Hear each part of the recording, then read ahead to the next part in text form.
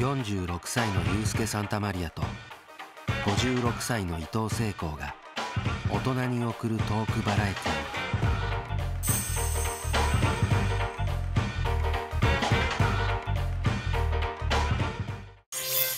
今宵のゲストはマキ君も大分でそうなんです。俺も大分だから。中学校隣なんですあそうなんですか？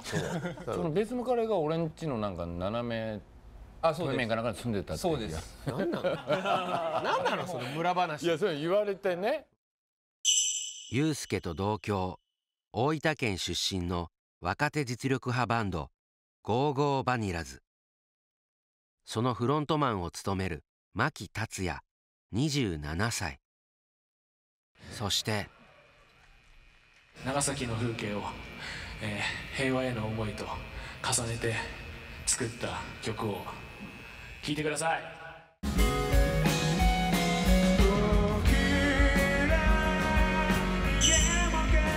長崎県出身の2人組からスタートし徐々にメンバーを増やしていった4人組ロックバンドストレイテナーのフロントマン堀江敦39歳。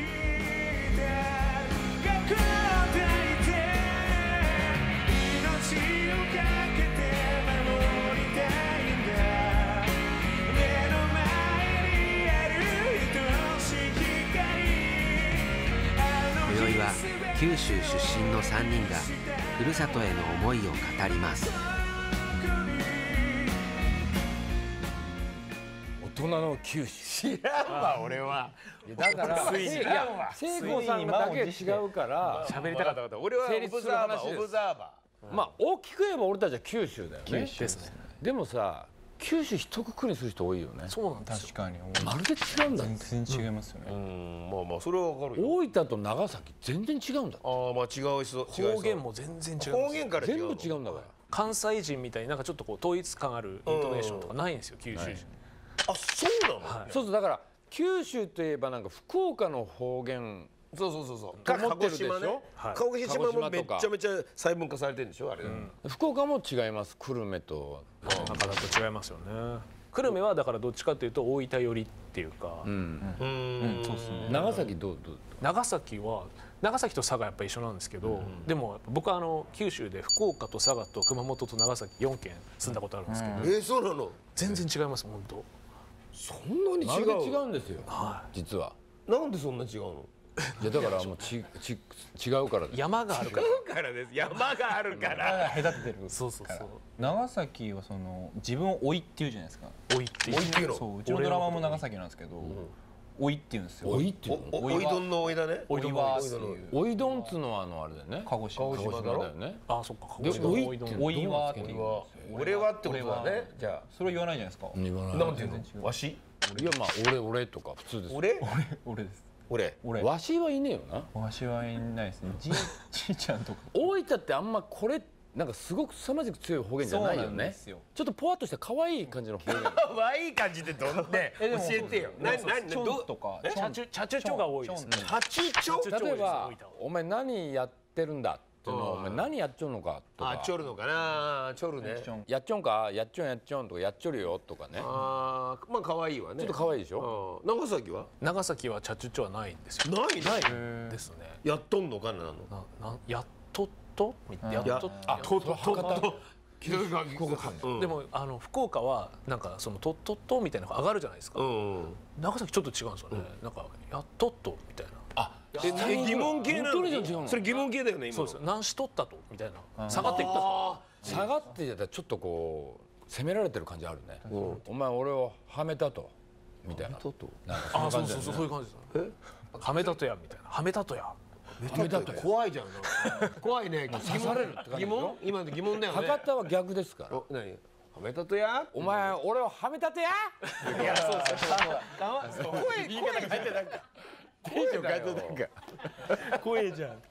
そんな話だってしないしねはめたとか。でもでも と自分で言ったとはいえ九州人っていうところで対東京とかさ。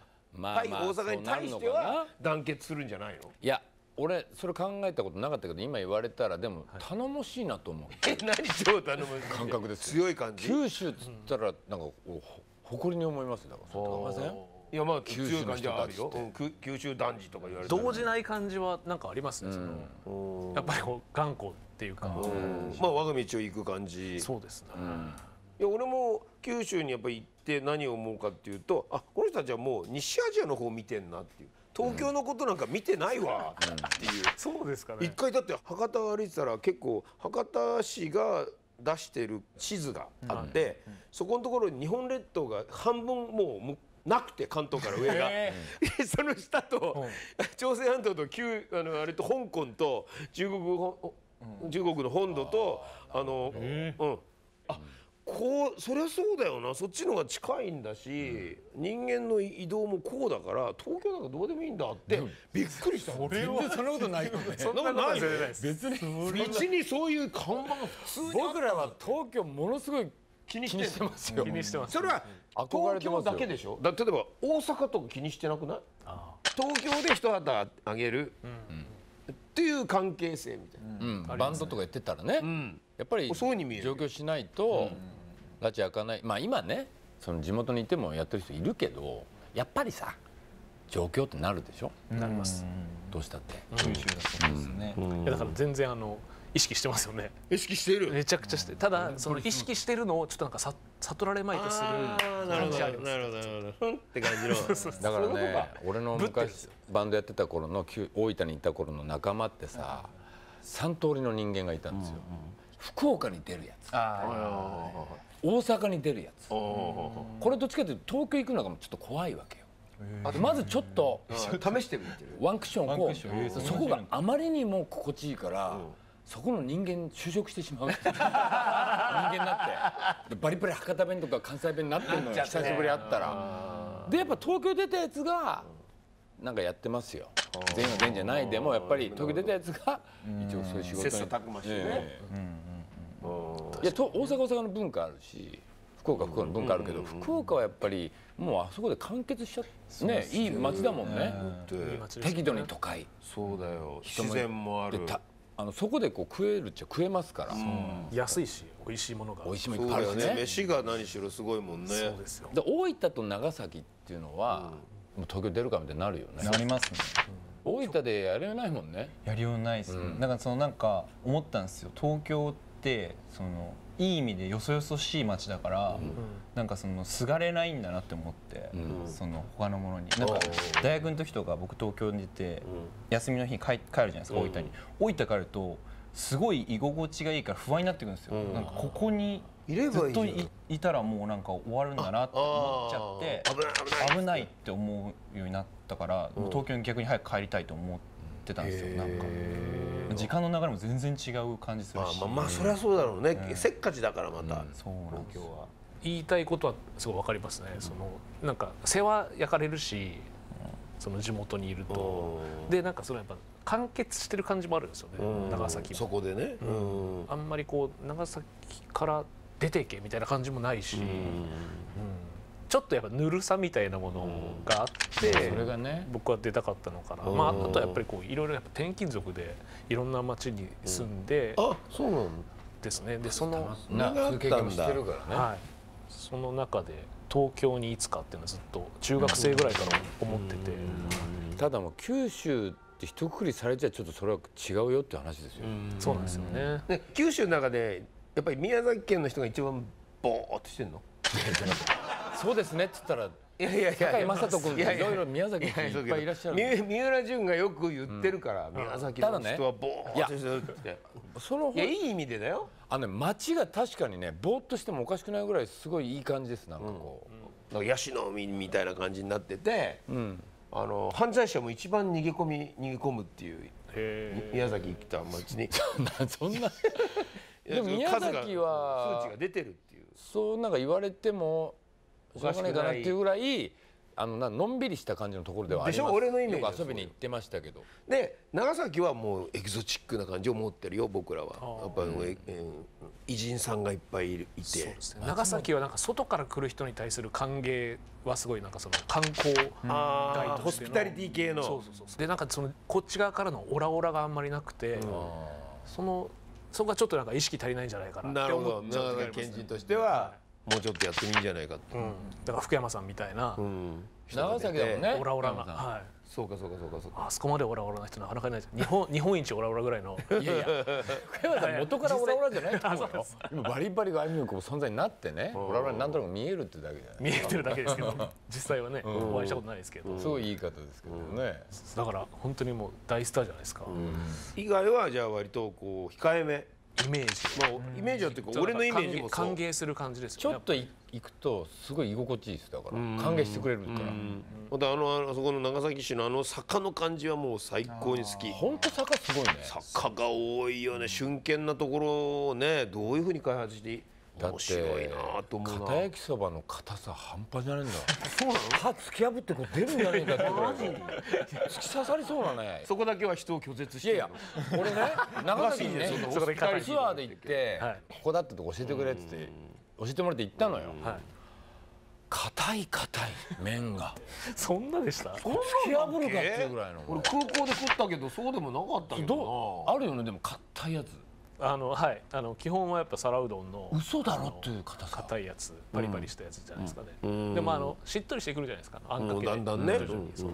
それがなんかいいんですよね。その絶妙なところをこうこことここをこううまく食べて俺が食べたのいつまで経っても針金みたいいやいやいやそんなのな俺知らないってなブシャーみたいないやっていうか俺は逆にそれに対して大分が温泉以外のとこで負けてるじゃん。なんかこうアピールが。それさ言われない？温泉以外何があんの？そうめっちゃ言われます。知られてないかもね、うん。知られてない。なそれで言う？ーん。海卵があるよって言いますえ？何？海卵？あのこれあの何のことか分かんないですよね。温泉卵じゃなくて海卵って思うでしょ？うんもうもうもう。もうあの卵なの？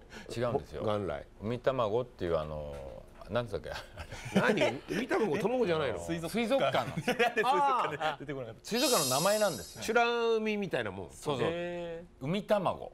海卵。これ九州にある水族館の中でもね。結構ねご褒美に入るいいやねでっかい。海卵。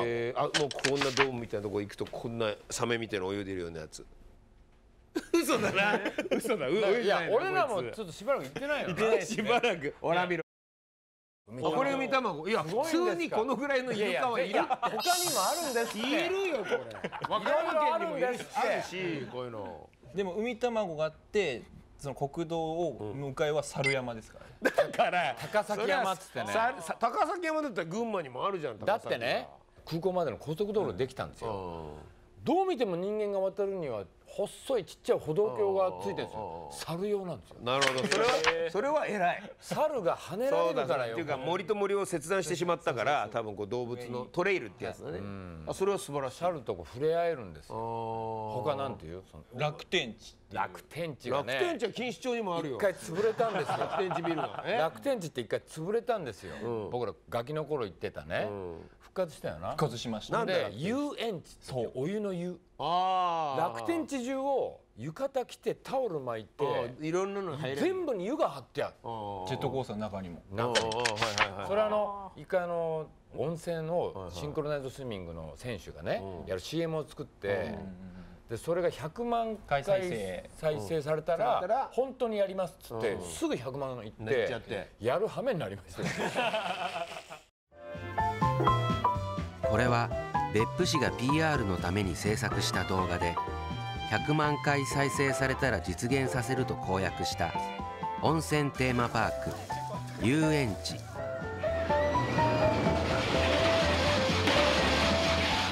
その後公開からわずか4日間で目標再生数を突破し今年7月に無事遊園地は実現された。あの遊園地ってな今今やってるの？いやあれ3日間だけだあ3日間で限界あるよね。全然ダメだろお客さんも風邪ひくわなそうダメだったっぽいですけどね。で結果温泉じゃんつまりそれ。でもその温泉が半端じゃないのよ。湯の質が。俺温泉気になる温泉水道から出ますから。出るし。別府の人山の湯海の湯、山の湯っていうのはあの沿線ですよ、体に優しいの、海の湯ってちょっと赤茶色の、ちょっと入ると湯あたりするけどダメじゃん。いやいやだから時間かけてゆっくり入っていかないと 急に入るとでも長崎になって温泉出るわけでしょそうまあいろいろ山もありますからね。ねただ量が半な。半端ないです世界で1位とか2位ですよ源泉の量が？うん。だから350円とかで普通に大分市内の街中でも温泉引いてて入れます、みんな。入れるし。それはすごいと思う。あとちょっと湯いの行くとな。ただの湯とかああります。ただで入れるまあただで入れる。まあ女の人絶対入らないですけどね。そうかもしんないけど例えばさ長崎だったら今さバリバリ硬いとか言ってるけど結局飯の話こう出るじゃん、これこう行きたくなるよね。知らないでしょ。坂があって飯がうまい、うん、行こうとかな温泉の話しかしねえもんどの大分がどんだけすごいかな。飯だよ。飯何がいいこれだから逆になんか俺海卵っていう卵だと思ってさ美味しそうだなと思ったけど違うんだもん。まあ長崎片焼きそば。はい。ね。福岡といえばやっぱりラーメンとか。ももうもつねそのつもつ鍋とかあと博多ラーメンね。ね明太子。大分行ってやれよ。なんだよ大分マイは痩せ馬痩せ馬知ってますか？何？馬痩せ馬っつってまたう馬馬じゃない馬じゃないんです。ほらだってひねくれてんのよ覚えたの人。なんで痩せ馬出したんだ野生 馬って。ググってください。なんで野生馬って野生馬って変わった食べ物で俺らがしたら普通なんだけど馬じゃねえのかよ。きしめんみたいなやつをねえ？になんかこうきなこきな粉みたいなの混ぜた。混ぜ要はスイーツなんですよ。スイーツ美味しいんですよ。美味しい。いやまあまあまあうまいかもしれないけあとこれをど信玄餅でいいじゃん味噌汁にぶち込んだみたいなのが団子汁ね。あ団子汁。ね。きしめん系みたいな。あるあるある団子汁は超ポピュラー。ポピュラー。あと琉球ね琉球はやばいです大分って漁師の町でもあるんですよ。海があるから。で漁師っていうのはそのその場でねさあの船の上浜でバババッとさばいてうんいいねいいね。それをこうすぐ醤油とかでバーッと和えるんですよ。おほんでご飯に合う。醤油漬けのやつですね。魚で押してくれればいいわ。関味関サバがありますそうか。それはもうフグ。フグ。はまあ白下カレー白シャカレーね。かぼす。しいたけまあ麦焼酎。麦焼酎。あいろいろなとこにあるってば。カボスカボスカボスいいですよ。カボスはいい。カボスサワーとかすごい、あのえねすだちとまた違うんですよ。あカボスだとね。かぼすとすだちは。あー。かぼすの勝ちだよな絶対。大きい絶し。対すだちより大きい。大きさはどうでもいいよコスパ俺がすごいあコスパがな。あとこう酸味と独特のね。はあ。いや俺なんかカボスにするわ。あのなんかそういうのあったらカボスサワーの方を飲飲むようにするわうどんとかラーメンとかねそういうのが博多とか長崎とか熊本のミクスチャあーーですごい美味しいんですよ。これっていうのはないんだけど美味しいとこ取りなんですよ。だからそこがダメなんだだよからそれで美味しい味でこれっていうとこが。ハイブリッドってことですいやあー焼きそば美味しくないですか？あの日田焼きそばっていう。何それ日田あー。日田天領水の想夫恋そうそうそう日田た焼きそば焼きそば最高ですよ。想夫恋どうなってんの？言ってあげてよ。俺食べたことない長崎の人間に言わすの？俺食べたことないんですよ ないんだ。何人焼きそばって？日田焼きそばなんかソーフレンっていうすごい有名なお店があってうん。あのいっぱいあるんですけどうん。九州に。うんちょっとねや焼いてうん焦げたちょっとパリパリうん感があるソース焼きそば。ああ分かった分かった。めちょっとちょっと太麺のな。あのまたこのもやしが九州のもやしって細いんですよ。うん。で麺と同じ太さでうん。なんかもう一緒になってるわけだ。すごい美味しいです。よこれ押してよ。めっちゃ B 級グルメでしょ？これは今かなり多分だからあるんです大分も。いっぱい。あるんだ大分住みやすい町今かなり上位に食い込んできてるんですよ来てんの？え本当ですか？あとね大分美人昔秋田美人って言われたでしょ？はいは今大分美いい人やそれマって言われてジ思います。え？マジ？可愛い。やっぱマジ温泉入ってツルツルなめっちゃんですよ可愛いからで東京出てきた時に全然感動なかったんですよ女の子に。何？可愛くないじゃんみたいな。博多行った時なかった感動。ありました。博多はね 別格。じゃんなある博多弁と相まって別いやいやいや格なの博多の女の子はねまあまあ九州からね。可愛いよ。あそうだよね。可愛い子がもういただやっぱりそれあるな。おしゃれですよねなんか意外と九州は。あそれはあると思うよ。それはあるとだから思う逆にファッションの情報は飢えてるからものすごい行き渡ってるアンテナすごい張ってるんですよ。うんうんうん。逆にすごいおしゃれだあと気張ってるよ女の子がきちんと。なんかかっこ悪くかっこ悪いわけにはいかないみたいな。あとそれは感じる九州の女の抱き心地の良さお前やめろ。お前お前いい加減にしろ。知らねえわそんなの。魅力がすげえとこに向かってて全然ダメだわ。赤じゃねえのこいつは。大人のファッションってこれどっちが出してあ僕なんですけど。これいいじゃないですか全然。いやあのやっぱこれ40にもなるんですけどね革靴は履かないしうんそこある。そうやっぱ聖子さんとかいつもスーツでなんかこう立派な大人に見られるファッションってなんだろうってやっぱ今更ですけど。でもやっぱこれからかなと思って40ぐらいは一回あるんだ。まあ今日は今日でこうなんかジャケットとか着てますけどこういうのも普段そんな着ないんですよ。やっと最近ちょっとなんかジャケット襟付きのやつブルゾン的なものも行ってみるかなみたいな。そうそうそうそうなってきて。でもいまだになんかそのシャツとかネクタイとかはまだ全然。あのね聖子さんイコールスーツでしょ、ですよ。衣装だからそう。普段着スーツじゃないから当然。普段着全然アメカジだからね。あの感じのちょっとこうアウトドア系なの聖子さんは。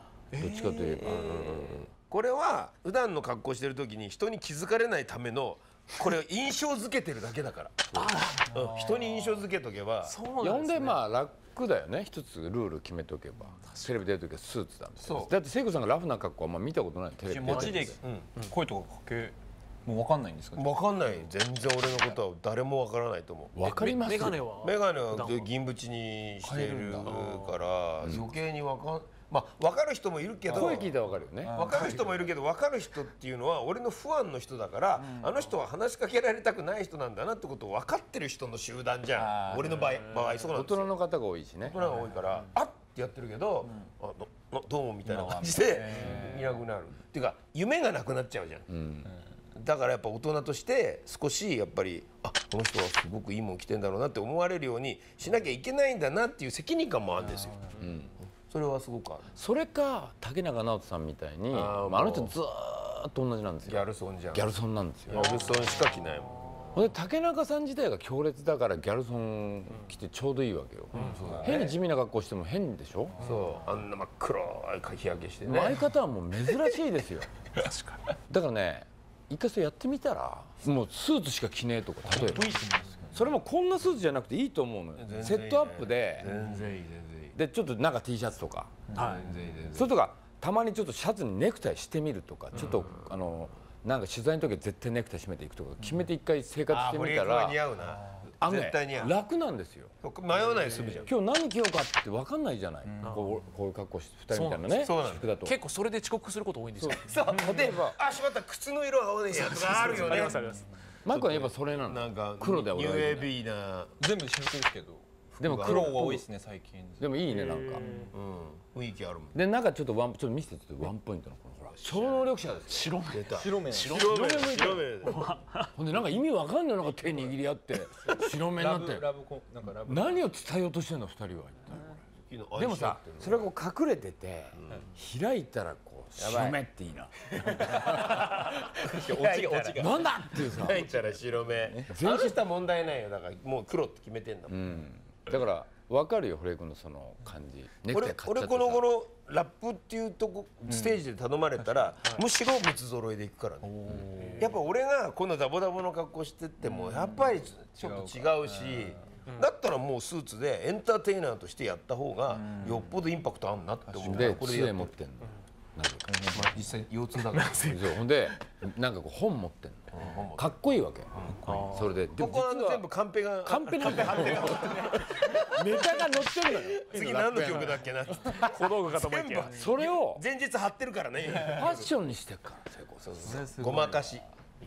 いいよごまかしはバンドの時はでもみんなそろ揃えたりするんでしょ？やっぱストレートテナーのストレートテナーの衣装とかになるでしょ？あんじゃん。いやもうね私服なんですよね。えそうなの？ステージがもう全部私服だから、たまにめちゃくちゃ色かぶったり、もうテイストバラッバラだったり 本当に。えそうなんだ。そちらかってるんですよね。